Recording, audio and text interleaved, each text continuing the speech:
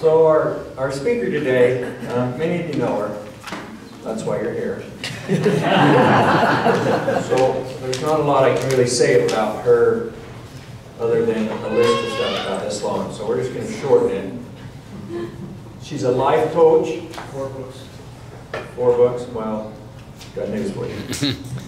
She's the founder and director of the nonprofit organization, the Center for Awakening. She's the author of five books.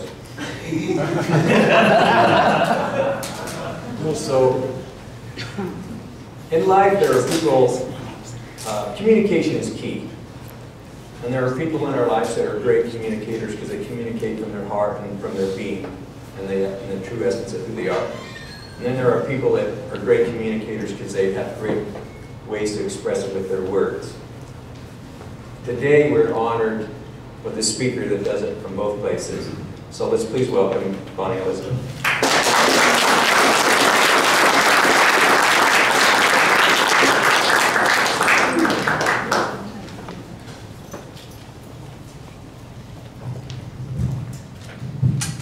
Thank you, Mike, for that beautiful introduction.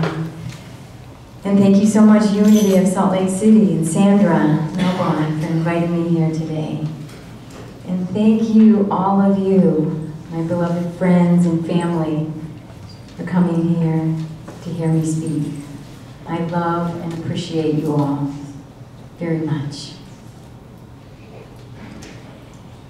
And I'm going to speak today about the ecstatically transforming human being. And that is what I believe you all are, we all are, is ecstatically transforming human beings. So I'd like to start my talk with a story. And that story is about when I first came here to Salt Lake City. It was in 1994. My children, Asia, who just sang, she was four years old, and John, my son, was three. And I was the kind of mom, I was with my kids all the time before then, but I had to get a job. and I didn't want to leave my children. I had this separation anxiety. I don't want to leave my kids, my babies. So I got a job at a preschool where I could be with them, make a little bit of money, not a lot, $5 an hour. But I was happy because I didn't have to pay daycare costs. And working at a preschool was, it was a great experience. It was kids, I just fell in love with so many of the children there. Adorable little children. There were challenging times working at a preschool, to admit. There was one little girl in the preschool, I remember, and she sat in a corner all by herself. Her head was down, her hair was in her face, and she wouldn't talk to anybody. You try to pull her out, but she wouldn't. She'd just yell at you, go away, go away. I asked the teachers, what's, what's up with this little girl? And they said that her parents were going through a divorce, and she was having a really hard time with this divorce. And I understood, so I, I went over and I, I talked to her every day. I'd go over and say hi once or twice a day, usually she'd yell at me and tell me to go away, and sometimes she even spit on me, shoot me away. But I didn't stop, I'd go over every day. And I'd say hi to her, at least hello, how are you doing? And in the preschool, there was also these two brothers. They were like, they weren't the same age, but they were both very mischievous. They were a year apart. Oh, they would be teasing the girls, pulling the girls here, they'd break things, knock things over. And I would, just about the time I'd put one of the boys in, in timeout, I'd turn my back and he'd just jump out out of a seat and he'd be out pulling some other girl's hair or doing something. I couldn't control him, totally unmanageable. I was not the best in controlling little children in the preschool teacher.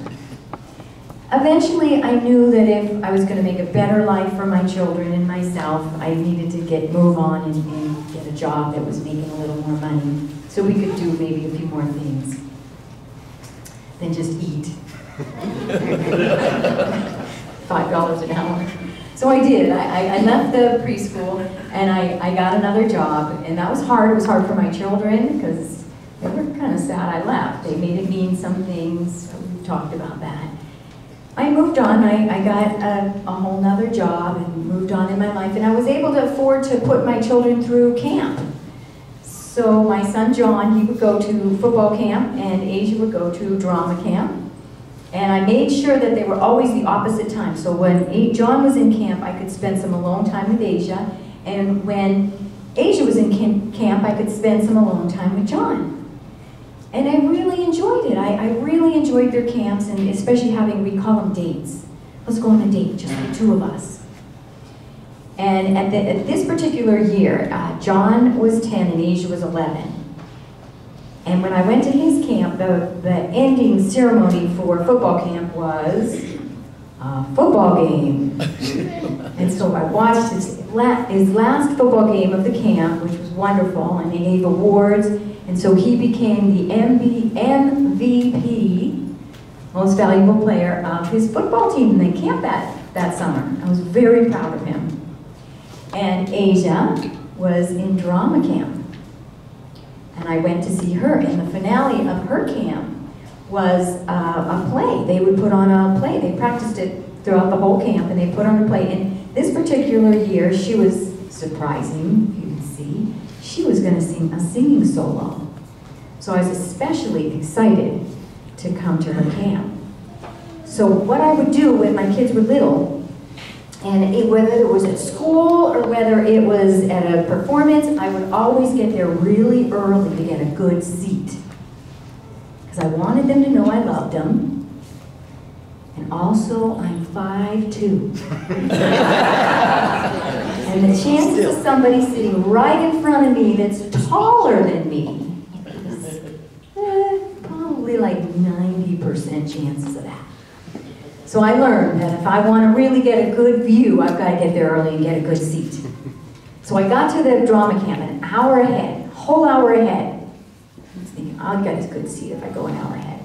I come in, it was up at the U, it was a beautiful auditorium. I walk in, and this beautiful, bright, charismatic, smiling little girl greets me and gives me a program. And I look out into the auditorium, and the whole front row is empty. So I went and sat in the very center front row seat. I knew nobody was going to be sitting in front of me, and I would have a perfect view of my daughter. I was so excited. I was very proud of my achievement. And I even took my coat off and put it on the back of my seat just to kind of mark my territory. Nobody sits there. If I have to run to the bathroom, I still got my center front row seat. Well, then the little girl that had greeted me started walking towards me. And I got a little nervous. Oh no, the front row is for the VIPs. They're going to move me. I'm going to have to move back. So I'm starting to feel a little protective of my, my good find here, my good seat. and she walks right up to me and she says, Miss Bonnie? And I says, yeah, I'm Bonnie, and who are you? She was a little girl in the preschool that sat in the corner of the room with that dark cloud over her. I didn't recognize her. She was a completely transformed human being. I didn't even know her. I wouldn't even known it was her. In a hundred years. Maybe a million, but a hundred years. I was so inspired by that little girl. It impacted me so deeply to see how someone could come from such, such fear and such darkness to such a bright spirit. So I'd like to share another little story with you. Would you like to hear another story? Okay. This story, it, it's a little sad. So that's okay though, because it has, it has a good ending. And I'm going to talk about another little girl that I know, and I want you to know that she has given me permission to tell you this story, so you don't have to worry about that. So this little story is about this another little girl, and she was four years old. It starts when she's four years old, and her family moved to a new town, a new, a new home. And it was, she was so excited because this home was bigger than her last home. It had more rooms. She didn't get her own bedroom, but still had more rooms. And it was in a neighborhood where there was lots of houses and lots of little kids to play with. So she was really excited. So the very first day she got to this new house, she, she went out looking to play with somebody. I want to find a friend. And right across the street, sitting on the front steps of the house across the street, was another little girl. So she ran over and introduced herself very confidently and started to play with this little girl. And Britt has given me permission to call this little girl Britt. And Jan is giving me, so the old, so this other little girl was four years older than the other little girl. And we're gonna call her Brett. And Brett, and we're gonna call the little girl from time to time, mostly little girl, but we'll call her Jan once in a while. Jan and Brett are good friends. So Jan went over to play with Brett. Brett was four years older. But they had a blast. They sang and they danced and they laughed their heads off. They had so much fun. They shared M&Ms. And they even had an M&M fight. They were throwing M&Ms at each other back and forth. They had such a good time. And the little girl didn't leave until her mom called her across the street to come in for dinner. They had so much fun. And the little girl, Jan, she grew up and she became seven. And when she was seven, her parents went through a divorce. And it was hard for the little girl. But at the same time that her parents were going through a divorce, her mother was having a nervous breakdown. And that was really hard for the little girl. Because her mother became very different than she had remembered her whole life, her whole seven years. This little girl, her mother would, would wear different clothes, she would act different, she was completely different. She wasn't, she was half, sometimes she was home, sometimes she would be gone for a couple days. No one would even know where she was. Sometimes the mother would be very reckless. She drove recklessly. She totaled the family's car, broke some bones. But she continued to drive, and she drove with the little girl in the car with her at times, and the little girl was really scared because the mother would speed and, and pass other cars in windy, twisty roads going maybe 100 miles an hour, and she was, little girl was sure at times that she was gonna die. And we're gonna get in another crash and she was gonna die. So she started to kind of be a little scared of her mother, not really trust her mother, the person she trusted so much, the most in her life. Life. And the mother had taken her to a class one time and she was supposed to pick her up at six, and so six came, and all the other little kids' mothers came and picked them up. But the little girl's mother hadn't shown up. And then seven came around, and the little mother, girl's mother didn't show up. And eight came around, no mom. Nine. Wasn't until a little before midnight when that little girl's mother came to pick her up. And by that time, she was so afraid, she just, she couldn't even talk. She just held it all inside. She didn't say a word to her mother. She was just afraid. And the mother did a lot of crazy things. One of the scariest things for the little girl was that the mother uh, poured gasoline all over her. Her mother would go from happy to angry to sad to very deeply depressed. And one time when she felt depressed, she felt suicidal and she put gasoline on herself and lit a match to her body. And, and uh, she didn't die, but she had burn scars on her body. And when the little girl would see the scars, it scared her. It just scared her inside. She didn't really know what to think.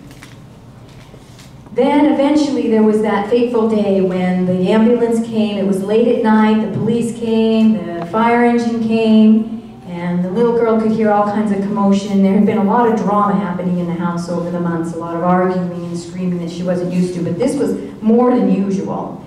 She could hear the mother screaming, the police screaming, her sister downstairs crying a lot. And she was up in her bedroom. She tried to go downstairs, but she couldn't. She was told to go upstairs. So she could just hear it all, and, and she could see the flashing lights on her wall and her ceiling. And eventually, after maybe an hour of this, she heard her mother being dragged across the yard and, and the ambulance door shutting, and her mom was gone.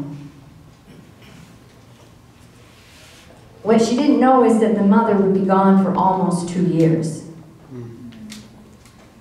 And during that two years, it was not an easy time for the little girl because there was not all, but there were some, but some caretakers that weren't very nice. And that was hard, and they were strangers. She didn't feel safe with those strangers.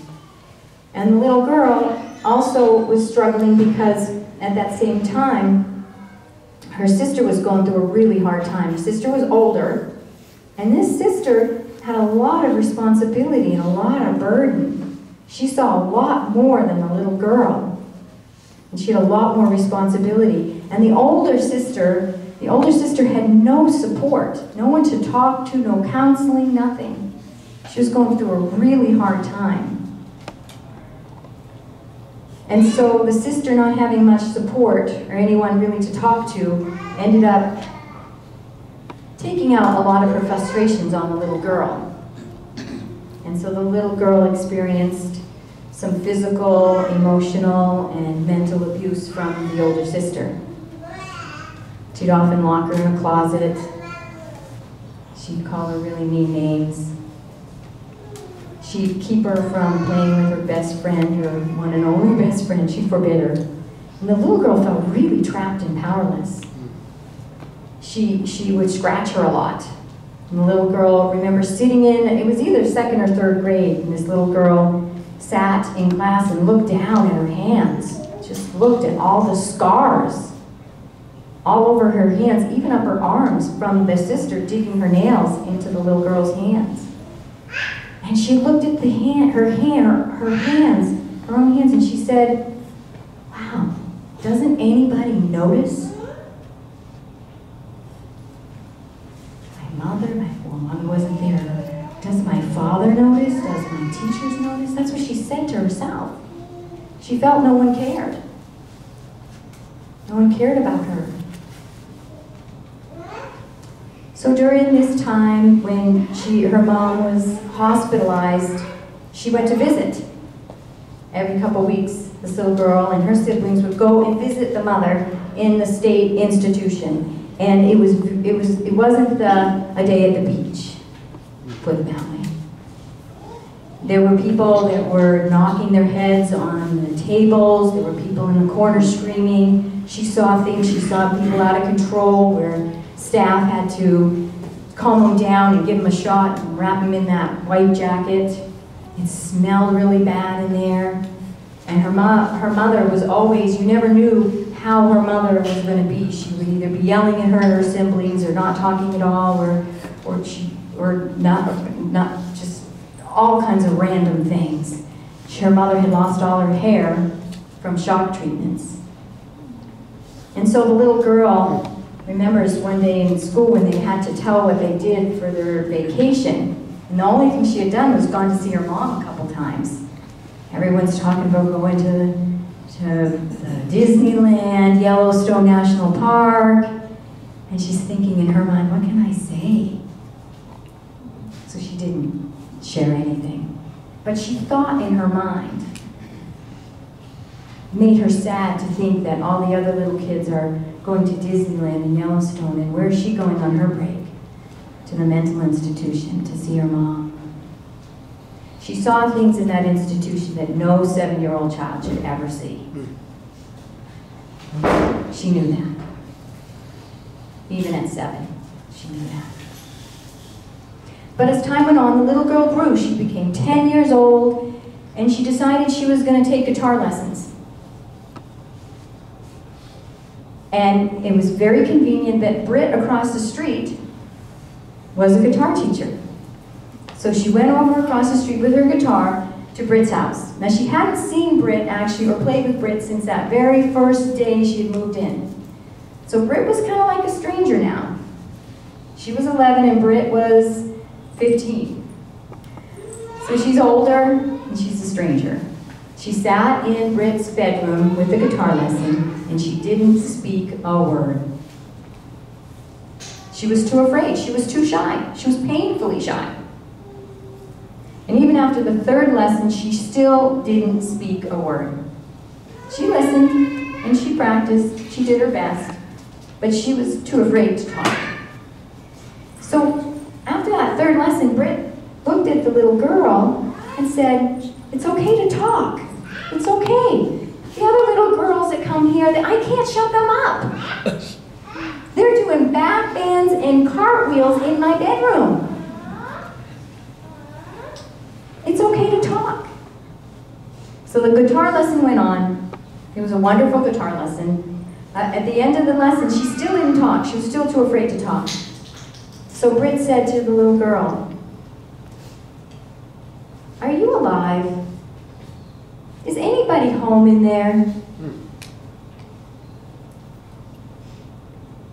And when the little girl left Britt's house, she walked across the street and she remembered being on those front steps of Britt's house when she was three years old and she was so alive, she was fearless, she was so happy. She was a little spitfire. What happened? She thought. What happened to myself? She thought. Now I'm 10, just a few years later. I can't even talk. I'm petrified of the world and life. What's wrong with me? But then she had another thought. And she thought in her mind, I'd like to get back to being that three year old little girl. I don't know how. I don't even know if it's possible. I don't know. Maybe I never will, but I'd like to get back to being as live and expressed and fearless as that three year old girl. She didn't know if it was possible, and she didn't know how. But she did have that thought in her mind as she walked home. And shortly after that, her mom had another nervous breakdown, and she actually, her mother took her guitar over to California and never was to be seen again. But life went on for this little girl, and she lived her life, and she continued on. She did the best that she could. She's kind of forgetting about that thought that she had, but she just went one day at a time, one foot in front of the other, moved on in life. And then there was this one day, this one auspicious day in the life of this little girl. And she was an adult now. And she was sitting in the very front row of an auditorium, in the very center seat of that auditorium. And an 11 year old girl came up to her and showed her that she could get back to that three year old little girl, that it was possible. If that little girl that was 11 could do it, she knew she could do it too. She knew she could come back to life. She knew that she had come back to life, but she had a long way to go still, that she had broken through a lot of shells, but she still had a lot of shells to break through. But that little girl gave her hope, gave me hope. That little girl gave me hope that I could return, that I could let the power within my soul, just like she did, shine through and I could come back to life. That I could be fully self expressed, I could be fearless again, that I could actually someday stand in front of a large group of people and speak that 10 year old girl that I was, 11 year old girl that I was, 10, 8, 9, never could have imagined herself standing in front of a group of people, ever. So human beings can, can transform. I know. I know from experience. And I'm here to tell you that no matter what you've been through in life, no matter the hardships, the challenges, no matter what you've done or what anyone else has done to you, there is a power inside of you that is so immense and so strong and so powerful that nothing in this physical world can keep that down, can keep that from shining through And sometimes those experiences can empower you to be even brighter and more powerful than you ever imagined. I'm grateful now for all the challenges in my childhood. It wasn't easy. Hmm. It wasn't easy having a mother with a mental illness or a sister who abused me. I felt very trapped, very powerless. And I didn't think I could get ever get out from under that, that trapped feeling, that I would be trapped and powerless for my whole life. But I did. I don't know how I did it. I do, I do know that it started with self-love. It also, also allowing other people to contribute to me has been huge. Growing up, I was alone. I did everything alone. I spent all my time alone because that was where I was safe. If I wasn't out in the woods alone or in school, I was up in my room alone. My brother just came for Halloween and he said, I remember you were up in your bedroom every night all by yourself. That was all through high school, junior high. That's where I was for hours, all alone up in my bedroom by myself because I was safe. And I enjoyed being alone. But I didn't go out to parties in high school. As much time as I could be alone, the better. People were scary and threatening to me. They weren't safe. I was comfortable alone. But I've learned to let other people contribute to me, that other people are my friends, they are my allies. This world, this entire world is us. Everything inside and everything outside is all us. Let the love around you contribute. We're all walking one another home. Deep down inside, we are all the same. We're all one, we're all connected. We need each other. We go home together. And this world and this planet is transforming. The human beings on this world are transforming. We're becoming a new species. We are becoming a brand new, highly evolved, higher conscious species. All of us. Our brains are changing. You hear neuroplasticity? Well, I think of it as organic. Our minds, we are not like an inanimate, inanimate object, even though they're alive too, but you take a piece of glass and you smash it into a thousand pieces. Hard to get it to come back. But a human being is different. Hmm. We can be feel like we've been smashed into a thousand pieces. And a lot of us have. We all have our stories. We all have our pain. We all have them. And I've heard stories that are a lot worse than mine. And we can come back stronger and more powerful because the power inside of us is who we are. And that power is so immense, so vast. I'd like to conclude with a little meditation. You don't have to close your eyes, but I want you to just imagine for a moment the hydrogen bomb the energy and the power in a hydrogen bomb. We've all seen them. The hydrogen bombs are bigger than the atom bombs. Just imagine that power, and that power for good, for love, for intelligence, for wisdom. And all loving, all good power, as powerful as a hydrogen bomb. Just imagine that power. Imagine that power inside you. That power is inside you. Imagine it. And the sun, our sun, in one solar flare, has millions of hydrogen bombs. The energy is released of millions of hydrogen bombs. So just imagine that much power inside of you. There's an average of 10 solar flares on the sun per day. That's just the surface of the sun. Imagine the power of our sun. Trillions and trillions of hydrogen bombs. That power inside of you. That is how much power is inside of you. And more. Inside of you. And they have found super suns super suns out in the universe, super suns. And our sun, 2.9 billion of our suns can fit in one super sun. 2.9 billion. That's a lot of power, a lot of power.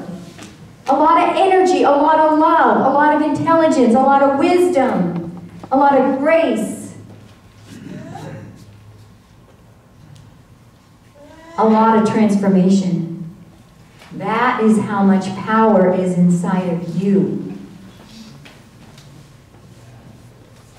That is how much power is inside of you. A super sun, a super sun is inside of each and every one of us. Every human being has the power of a super sun and more.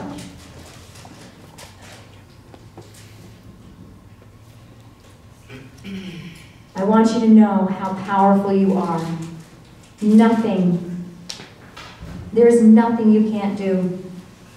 There's nothing that can hold you down or stop you or inhibit you or constrain you from being you. You are the most powerful beings. We all are. And we are transforming. This planet is transforming to an entirely different race, a different human race, an empowered race. That's all, we are connecting. It's in connection now. All of science, they say before any organism goes extinct, it either goes extinct or that organism, all of that entire species, has to go into a state of cooperation to save the species. Cooperation is the only thing that saves the species from going into extinction.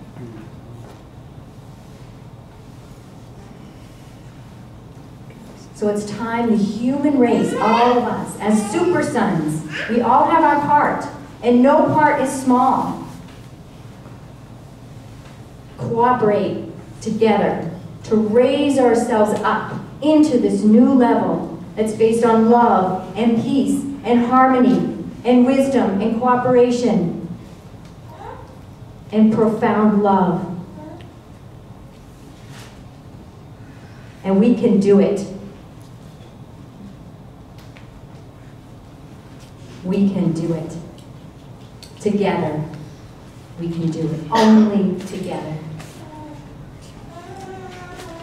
I love you all so much, and I thank you all so much for being here today. May you have a beautiful and blessed day. Thank you. Namaste.